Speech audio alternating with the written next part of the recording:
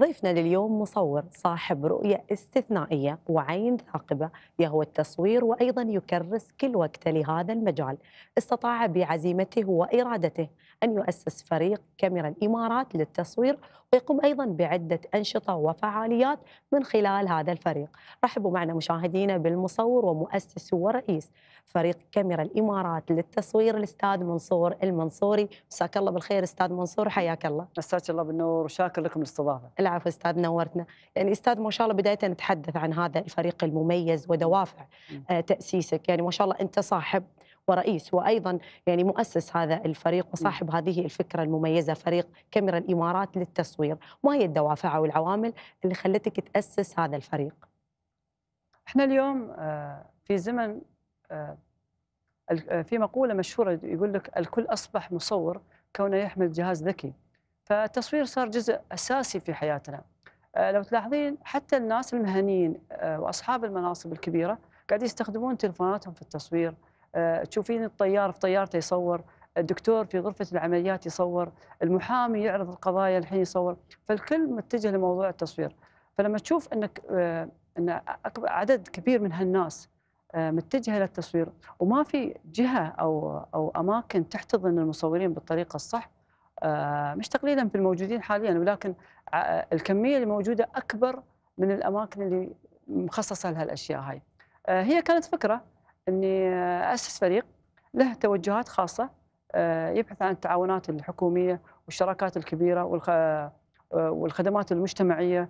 آه، نحاول ما نقدم خدمات تصوير كتصوير لا نحن نبحث عن المصورين الموجودين نعطيهم فرص عشان ينضمون للفريق. نعطيهم فرص نأهلهم يكونوا مدربين بناء على الشراكات اللي نسويها مع الجهات نفتح لهم فرص تدريبية.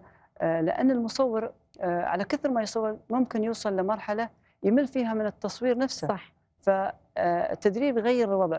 آه، أنا لما دخلت مجال التدريب التدريب غير أشياء كثيرة. أعطاني شخصية لنفسي.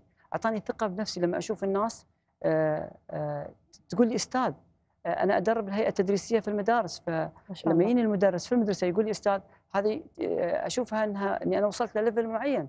فأريد الناس تعيش جزء من اللي أنا عشته حرفيا وكان هذا هو الهدف الرئيسي في إنشاء الفريق. رائع، يعني ما شاء الله عليك أستاذ منصور البداية كانت هواية وبعدها بعد دخلت دورات تدريبية عشان تصقل آه هذه المهارة وهذه الهواية وبعدها ما شاء الله أسست هذا الفريق. صح. اختيارك للمصورين، هل هناك بعض المعايير لاختيار أعضاء آه الفريق والمصورين المتواجدين حاليا في الفريق؟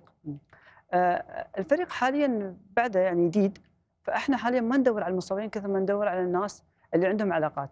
آه، نائب الفريق عندي الأستاذ سالم العامري شخص متخصص كان ماسك منصب إداري في أحد الجهات الخيرية وعنده علاقات. أنا أبحث عن الناس اللي عندهم علاقات مع الجهات.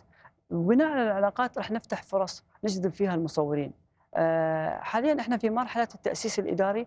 آه، البحث على الناس المحنكين اللي عندهم رغبة إدارية اللي عندهم علاقات إدارية بحيث نفتح فرص مستقبلية في مجال التدريب وفي الفرص خلينا نقول فرص للمصورين المبتدئين. رائع يعني اختيارك للإداريين أكيد يختلف عن اختيارك للمصورين اللي انضموا لهذا الفريق المميز. صحيح. الإدارة أساس كل شيء. صحيح فعلا. طيب أستاذ منصور نتحدث عن تجهيزكم آه، للاحتفاء باليوم العالمي للتصوير، شو هي استعدادات الفريق عشان يجهزون لهذا اليوم المميز لكل مصور فوتوغرافي؟ إحنا بعد ما أسسنا الفريق حبينا ندخل الساحة بشيء كبير. آه، اشتغلنا من شهرين على الموضوع هذا. تواصلنا مع آه، رؤساء الاتحادات في آه، الموجودين عندنا والحمد لله وافقوا إنهم يحضرون عندنا. طبعا الحدث برعايه وحضور الشيخ الدكتور سالم بن ركاض العامري. راح نتجنب sorry راح نتكلم عن جوانب كثيرة منها التصوير والعمل الإنساني، التصوير والمسابقات، خاصة موضوع المسابقات. لما تصير مسابقات التصوير يصير وايد لغط في النتائج وفي التحكيم في الشغلات هاي، فإحنا يبنى رؤساء الاتحادات فالمصورين الحين لما عرفوا إن رؤساء الاتحادات بيتكلمون عن هالموضوع هذا الموضوع جذبهم. اختيار المواضيع اختيار الشخصيات كان مدروس والحمد لله الله وفقنا في موافقتهم إنهم يحضرون وإن شاء الله 24 8 بيكون يوم تاريخي. آه هذه أول فعالية للفريق. إن شاء الله. بتكون آه من أكبر الفعاليات اللي تقام على مستوى الدولة إن شاء الله. ما شاء الله. طيب هل هناك أنشطة نقول فعاليات أخرى؟ أستاذ منصور شاركتم فيها كفريق. أنت قلت تم يعني تأسيس آه هذا الفريق مؤخرا لكن شو الفعاليات الثانية أو الأنشطة حتى لو كانت بسيطة اللي شاركت فيها؟ سوينا اجتماع لبعض المصورين بحيث ناهلهم يكونون يأخذون دورة مدرب. نفتح لهم مجال التدريب. أنا مركز على موضوع أن المصور يكون مدرب.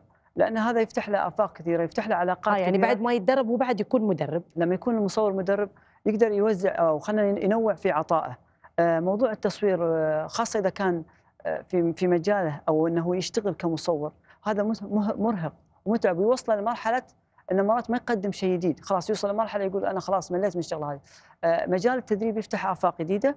يكسر الروتين العادي من موضوع التصوير فقط. يعطي ثقة بالنفس للمصورين. ويفتح لهم مثل ما تقول مثل ما قلت لك علاقات وآفاق جديدة. فعلا. شو أكثر الأشياء أستاذ منصور اللي يستشيرونك فيها المصورين خاصة اللي بعدهم ايدات في هذا آه، المجال أو بعدهم ما صقلوا فعلا هذه الموهبة؟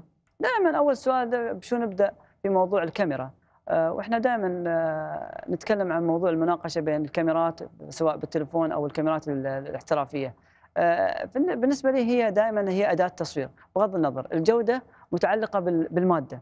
إذا عندك مادة أنت ممكن تحصل على آه، أفضل quality بالكاميرا ولكن التصوير فعلاً. والمهارة آه، مش مربوطة في شيء مربوطة بالإبداع والتغذية البصرية.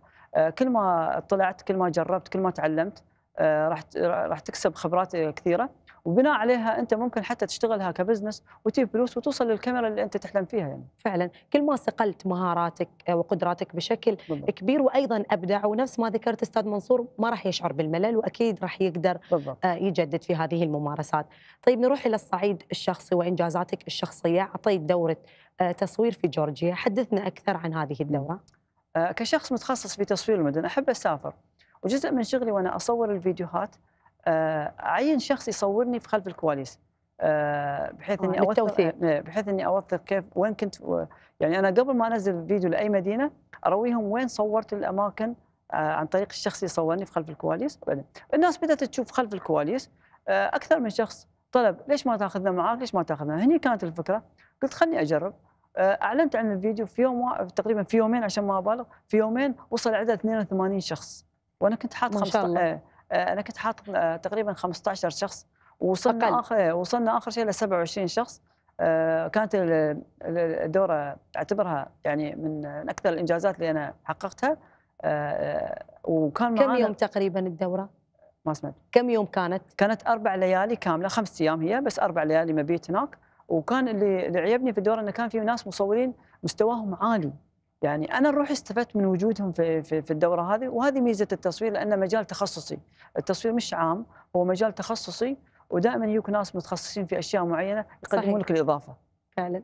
طيب أستاذ منصور ما شاء الله إنجازاتك وإبداعاتك وحبك وعشقك للتصوير الفوتوغرافي خلاك بعد تفكر إنك تطلق كتاب أطلقت عليه اسم لن أعلمك التصوير، متى إن شاء الله راح يصدر هذا الكتاب؟ لو تحدثنا أكثر عن محتواه خاصة إن أي حد راح يسمع اسمه راح يستغرب شوي. آه، والله التوثيق آه sorry الكتاب هو توثيق لمرحلة من حياتي. آه عشت فيها تجارب خلف الكواليس. آه أنا الله وفقني آه اشتغلت في أعمال كبيرة للدولة من ضمنها عملية الفارس الشهم في سوريا وتركيا. قمت بتصوير آه ما شاء الله كنت متواجدة هناك. قمت بتصوير الفيديو اللي عرض على م- منصة وزارة الدفاع. ويعتبر تقريبا من أهم الأعمال اللي أنا قدمتها. في عندي تجارب كبيرة. تغير نهج المصور أو تغير نهج الشخص اللي حاب يدخل مجال التصوير. لما أقول لن أعلمك التصوير لأني أنا ما أتكلم عن الأمور الفنية في التصوير أنا أتكلم عن حياة المصور خلف الكواليس كيف يتعامل مع المشاكل اللي تمر فيه كيف يقدر ينجح من كيف يصنع من لا شيء شيء كبير. وهذا وهذا الشيء أنا عشته ش- شخصيا وأحاول أنقل قصص تجارب. مثل ما قلت هو هو توثيق لمرحلة من حياتي. وأتمنى أني أقدم الفائدة لأي شخص يقرأ الكتاب. إن شاء الله. طيب يعني آه، أستاذ منصور شو الأشياء الثانية اللي تسعى إلى تحقيقها سواء على الصعيد الشخصي بما يخصك كمصور فوتوغرافي وأيضا على صعيد فريق كاميرا الإمارات للتصوير؟ والله هو بناء الشراكات.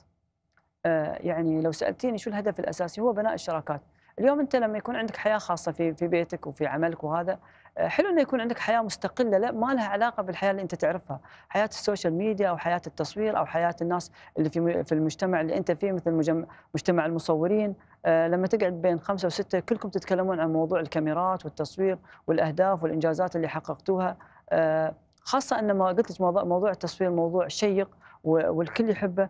والكل يحب يبرز آه، صار المص... يعني في في في في, مقولة يقول لك المصور حبيب المدراء يعني المصور دائما هو الشخص اللي دائما يسيطر على الفعاليات هو اللي عنده صح. علاقات مع كل الناس آه، كل الناس تطلبه في أهم الأحداث ف يعني لو سألتيني شو تطلعاتي في إني أشوف آه، أغلبية الجهات الحكومية تغير نهجها في التصوير بحيث إنه يطلع بال بال بالقيمة أو خلينا نقول يعني قاعدين يبذلون أشياء كثيرة في الفعاليات مالتهم ولكن ما يخرجونها بالطريقة الصح لأنهم مش فاهمين إن إحنا حاليا في زمن ال social media ومش والعين آه، لما تشوف لما تمسك التليفون مثلا أنت تتصفح تقريبا آه، ثلاث أربع منصات وغالبيتها فيديوهات.